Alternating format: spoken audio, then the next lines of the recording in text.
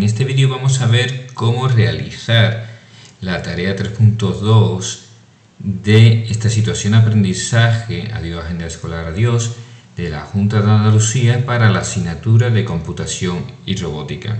Esta tarea consiste en implementar un boceto de una app cuyas condiciones se establecen en este apartado. En primer lugar necesitamos entrar en App Inventor y crear un nuevo proyecto que se llame así y crear dos pantallas. Los espacios se van a quitar. Si queréis lo ponemos en español. La primera pantalla me viene con este nombre que no se puede cambiar. Vamos a crear una segunda pantalla aquí.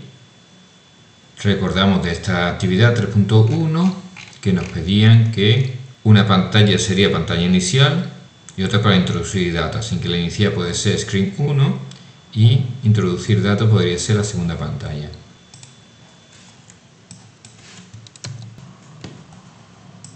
Ya hemos hecho el paso 1. Como dijimos, eh, eh, tenemos un boceto con ciertas condiciones y lo estamos pasando a PP. Esto es lo que vamos a hacer, rellenar los componentes y después cambiar sus propiedades. Así que consultamos en donde nos explicaba cómo hacer el boceto, aquí la 4, estas condiciones que podemos mostrar necesitamos una etiqueta lo primero para la pantalla inicial que va a ser screen 1 así que cambiamos aquí a screen 1 estamos aquí. Y cogemos una etiqueta de la paleta. Ya está de momento. La etiqueta era para mostrar la información registrada. Le podemos poner un nombre para acordarnos. Lo de etiqueta yo se lo dejaría para saber qué tipo de elemento es Ahora quiero un botón para cerrar la aplicación. De momento lo pongo aquí mismo, lo renombro. Un botón para acceder a la pantalla de introducción de datos. Vale, pues otro botón. Intro datos. Un botón para borrar todas las anotaciones registradas.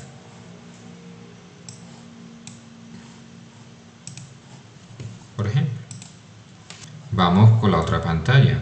Un componente para seleccionar la fecha que se quiere apuntar la anotación. Pues vamos a la otra pantalla, a introducir datos, algo de fecha, fecha selector. Utilizo una etiqueta para dar instrucciones de cómo elegir la fecha. ¿Vale? Así nos vamos acordando para qué es cada cosa.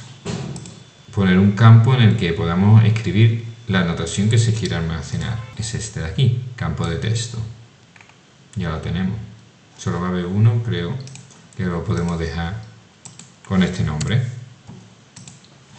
Un botón para decir OK ¿no? y hacer lo que tengo que hacer, almacenar.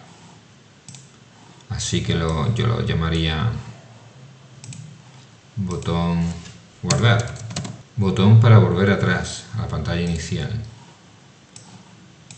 Ahora ya cada uno podría elegir algunas de las propiedades de la pantalla y de los elementos para que quede como a uno le gusta. Si volvemos a la tarea 3.2, ahora propiedades como dijimos. Será un buen momento usar disposiciones para que las cosas no estén una debajo de la otra, cada una a su estilo, que quedara una cosita así, por ejemplo. Bueno, si hay algo que yo no soporto es las cosas pegadas aquí a la izquierda, así que me voy a la propiedades de la pantalla y lo voy a poner en el centro. Después querríamos usar algo de disposiciones que hemos visto aquí, pues para que queden unas cosas al lado de la otra.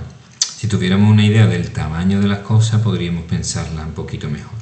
Por ejemplo, vamos a ver que tenemos aquí un selector de fecha, si hay algo que podríamos cambiar, que nos guste ya. Podríamos ponerle una imagen, ¿no?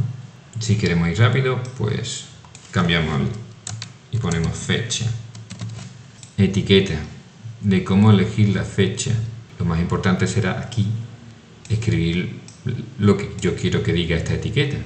Si hacemos clic fuera, pues aquí aparecería todo esto.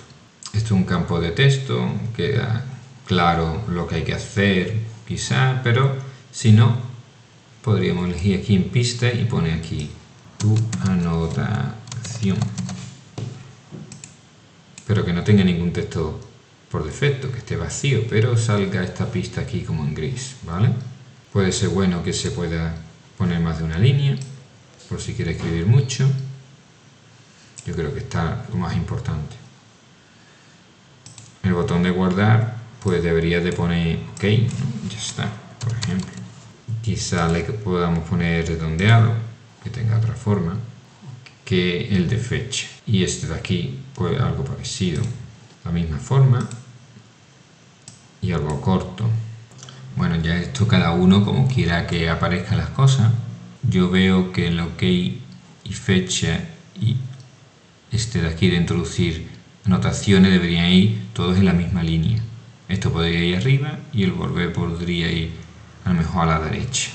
¿Vale? Para eso voy a usar disposiciones horizontales. Traigo una por aquí y podríamos ponerla así, ¿no? Que se elija primero la fecha, después con mucho paciencia intenta que esto caiga aquí dentro, no es fácil, y el OK.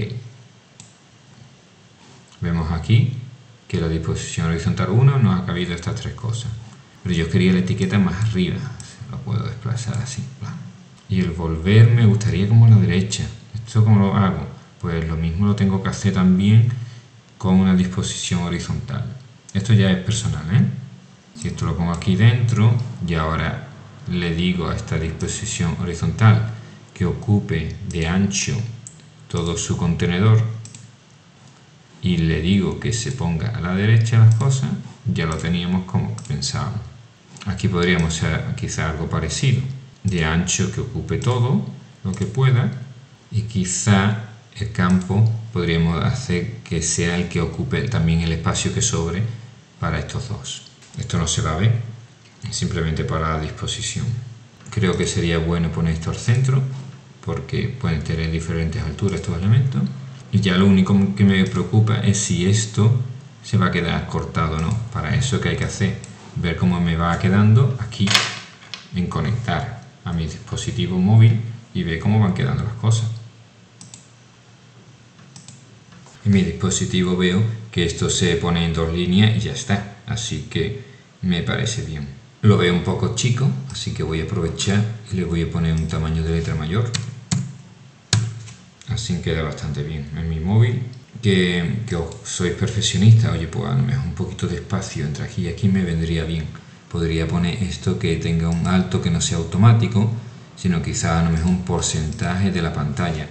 Esto va a haber que ir probando a ver si con 15% me queda bien. Como mi móvil se va actualizando lo voy viendo en cada momento 15% me parece mucho, a ver 10 así me gusta ha quedado la presentación mucho mejor esto se va guardando, si no, le dais aquí, si no fiáis, para que se guarde en este justo momento. Una buena costumbre es sacar versiones. O sea, si uno ya está contento con esto, antes de liarla y hacer cosas que después no sepamos volver atrás, es venir por aquí y darle a guardar punto de control. Le damos a aceptar simplemente, no me acepta el nombre que viene por defecto, porque aquí en punto de control hay que ponerle espacio. Te lo pone el programa automáticamente esto, pero no estos. Bueno. Entonces ya tengo guardada una versión por si quisiera volver a ella. Si no, sigo con la oficial, que se llama así, sin punto de control detrás.